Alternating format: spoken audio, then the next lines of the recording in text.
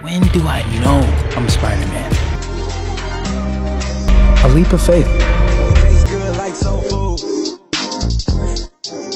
Parked up outside in the old school. The new me back with the OU. The dog always finds his way back home, and it's so true.